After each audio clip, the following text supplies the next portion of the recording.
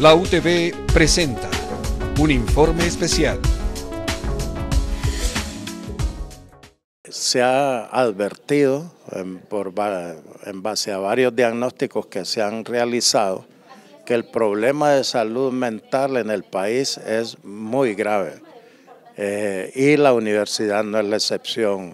Con el programa de atención integral estudiantil hemos levantado cerca, ya andamos rondando las 9.000 encuestas que hemos realizado y dentro de la misma sale el componente de salud mental y el porcentaje que nos sale con eh, patologías de estrés, ansiedad, depresión, etcétera, es bastante significativo en nuestra universidad.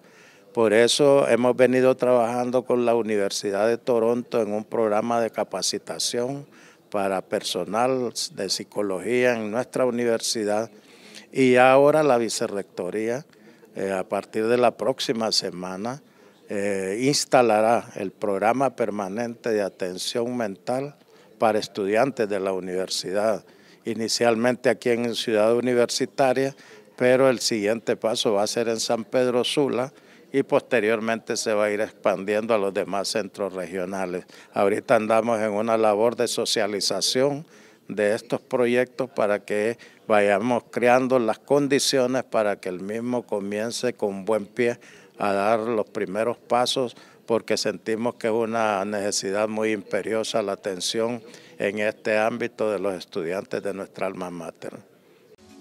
Este fue un informe especial de la UTV, pose e imagen de la Universidad Nacional Autónoma de Honduras.